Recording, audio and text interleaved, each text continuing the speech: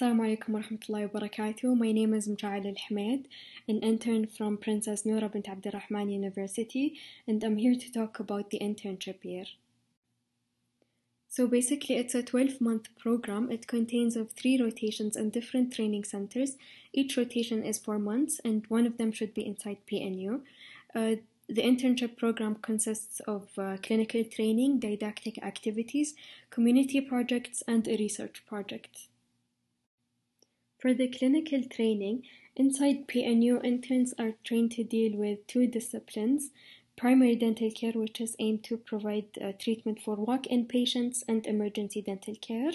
The other thing is comprehensive dental treatment, where you can have your full treatment plan ready and book your patients accordingly. Uh, there are uh, procedure requirements such as uh, operative, pedo, prosto, endodontics, and uh, simple surgery. Uh, and by the end of this rota, you should have a comprehensive case report that is fully documented so you can uh, present it in a PowerPoint presentation and uh, a summary of all your finished procedure in this rota. Uh, for the outside uh, rotas, it is expected to follow the rules and regulations of the training center itself. For the didactic activities, which is held every uh, Tuesday morning inside the college, interns are released from their training institutes on that day. Uh, activities include uh, literature review, workshops, lectures, seminars, and a good opportunity to, to discuss and uh, plan your research projects.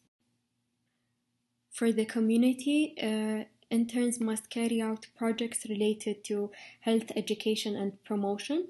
There are field objects and there are educational videos.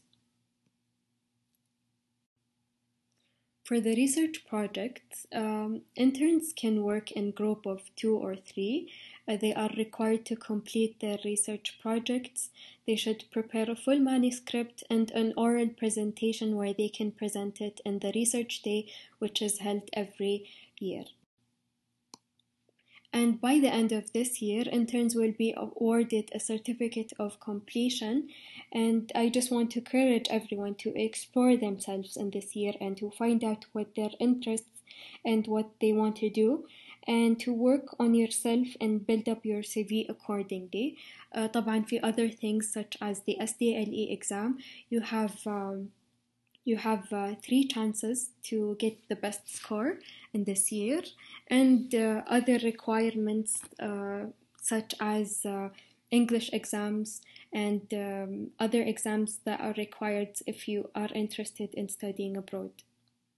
Uh, and if you have any question about the sdle the nbde or the college uh, you can contact me by the email or my twitter account.